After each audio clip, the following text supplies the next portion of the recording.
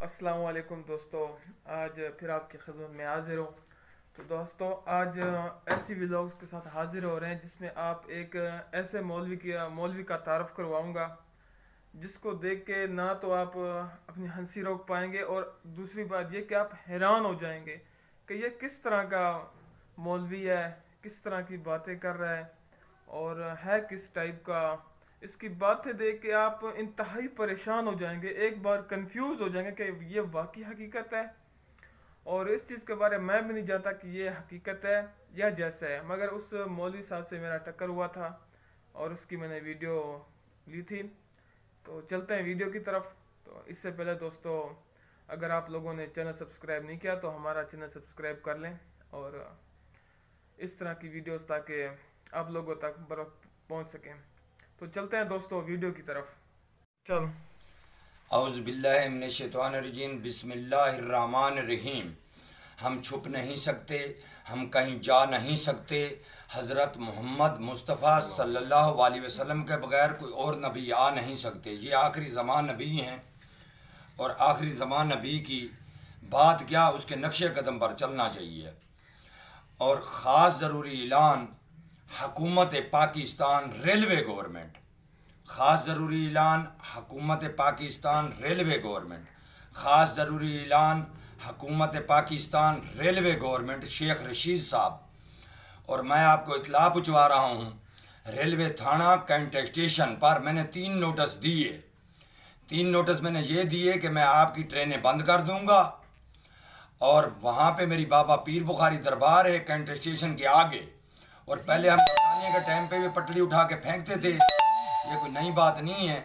اور انشاءاللہ تعالی اب چند دنوں میں ہم بابا پیر بخاری دربار کے سامنے پٹڑی اٹھا کے پھینکنے والے ہیں، جس پٹڑی کا نام ہے نمی واشنگ لین۔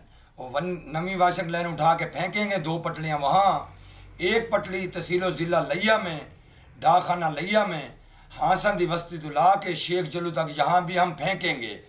اور انشاءاللہ تعالی آپ یہ کرامت دیکھیں، حکومت پاکستان۔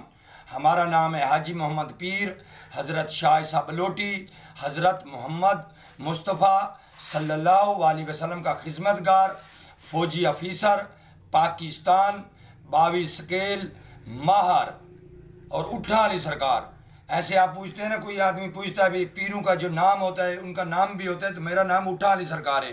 اور انشاءاللہ تعالی ہم پہلی کرامت دکھالنے والے ہیں۔ اور دوسری کرامت ہماری یہ ہے کہ پی آئی اے کراچی ایئرپورٹ پلوان گوٹ۔ جب ہم یہ کرامت دکھال لیں گے انشاءاللہ تعالی اڑتے ہوئے جہاز جو آپ اڑائیں گے ہم نیچے گرائیں گے۔ اور تیسری کرامت ہماری یہ ہے پورے پاکستان کے اندر جو بجلی والی تار مین ہوتی ہے آپ آنکھیں بند کریں اور آنکھیں کھولیں اور انشاءاللہ تعالی پورے پاکستان کے اندر ہم تار نیچے گرائیں گے۔ اور سخی شباز کلندر، مجرم بیر اور پاکستان دی گورنمنٹ اندر اور دما دم مست کلندر اور تیر القادری جرت اور بہادری نے کہا تھا جب اسلام آباد میں دھرنا تھا، اس نے کہا تھا ہم دم دم مست کلندر کریں گے۔ تیر القادری صاحب نے دم دم مست کلندر نہیں کی اور انشاءاللہ تعالی ہم دم دم مست کلندر کریں گے اور مجرم بیر اور گورنمنٹ کو اندر کریں گے پاکستان والی کو۔ اور حکومت پاکستان پرویز مشرف صاحب جو سابقہ تھے اور انشاءاللہ تعالی وہ بھی پاکستان میں ان کو بھی بلا رہا ہوں، کیونکہ یہاں پہ جو عربی والی کتابیں دی تھی، قرآن مجید والی، اور تمام کتابیں پڑھے لکھے لوگوں نے عربی والی وہ ردی کے اندر بیچ دی ہیں۔